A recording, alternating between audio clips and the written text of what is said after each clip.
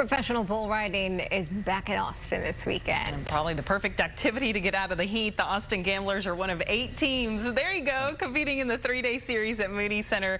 Tickets are still available. Zach, maybe you should no, try it out. I'm scared. no, trust me, I'm a scaredy cat. Tierra Neubaum joins us live with the pros. Good morning, Tierra you guys know that I asked if I could get on a bull, right? You know, you know I'm down for it if they would have let me, but they were like, no way is that happening here this morning. But we know who is getting on the bulls, the Austin Gamblers. You guys are at home halfway through the season in first place right now. What's happening at Gambler Days this weekend, JJ?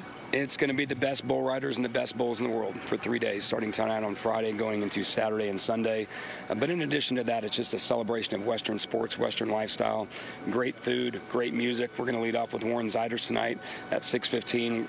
William Clark Green on Saturday, Kevin Fowler on Sunday. We've got Yellowstone themed giveaways. We've got first thousand people tonight get a cap first thousand people tomorrow get a T-shirt, and then Sunday is Free Kids Day. Any kid that comes in, comes out, gets a free ticket, and the first 500 kids get a gambler's belt buckle. Okay, so much fun. But uh, for somebody that's not experienced professional bull riding before, what's your message to them to come out and see this? I came last year; it was so much fun.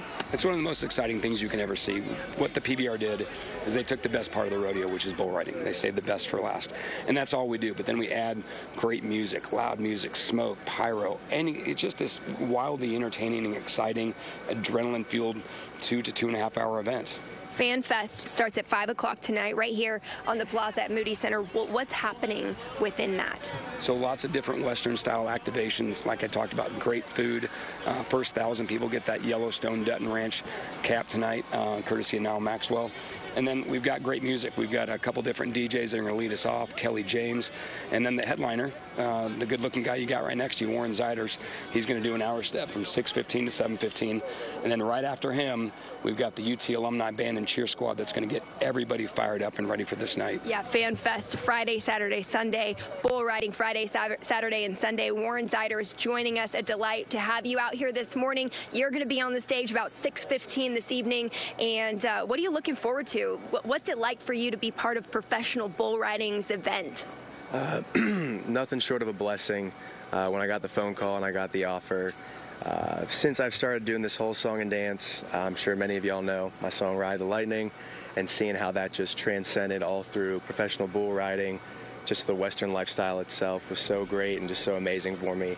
Any rodeo I've played, it's always playing, so uh, I'm excited to play that one obviously tonight. Just had a record drop, so I'm super uh, pumped to play some new tunes for people and have one of my first shows here in Texas. Congratulations and uh, welcome to Austin. What, for somebody who's not listened to your music before, what's the vibe like?